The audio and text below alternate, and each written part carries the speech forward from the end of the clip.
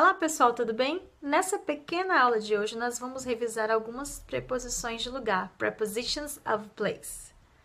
São elas in, on, under, off, over, through, around, at and to. Para facilitar o aprendizado, eu vou compartilhar aqui com vocês um vídeo incrível, um pequeno vídeo que eu achei na internet feito pelo Balance Studios para Grape Seed English for Children. É a historinha de um ratinho que sai pela fazenda e à medida que ele se move, a história, ao ser contada, vai falando exatamente a posição do ratinho, se está em cima, se está embaixo, se está circulando em algum lugar. O nome da história é Mouse in the Barn. E tenho certeza que ao assistir, você vai ter uma noção de como essa preposição funciona nesses casos. Vamos lá?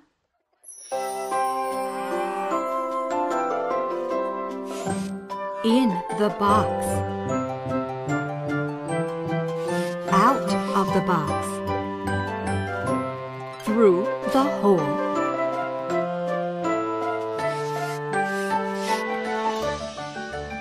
Down the tree. Around the rock. Through the trees.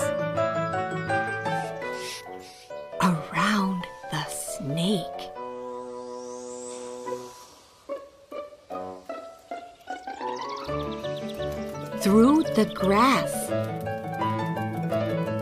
up the steps, to the door, at the door, under the door, over the toys, up the chair, on the table.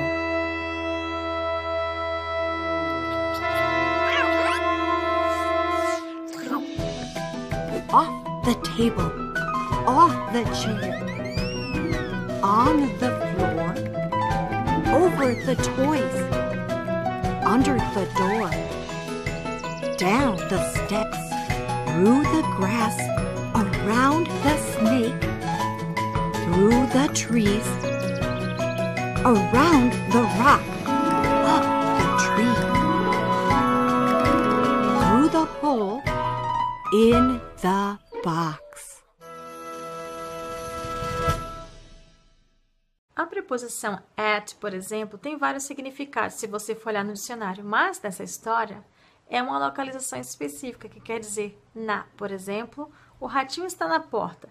The mouse is at the door. Na porta.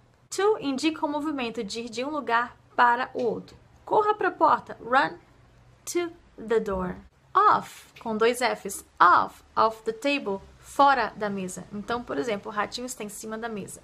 Quando ele desce para fora da mesa, o que, que eu posso falar? Que o rato está para fora da mesa. The mouse is off the table. Through. Tradução nesse contexto, através de. Quando ele passa pela floresta, pelas árvores, through the trees. Ele atravessa, ele passa pelas árvores. Through the trees. In está dentro, dentro da caixa, in the box.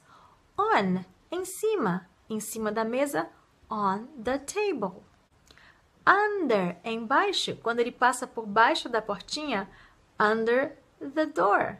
Onde estão os meus sapatos? Estão embaixo da mesa, under the table. Quando ele passa em volta da rocha ou daquela pedra, around the rock.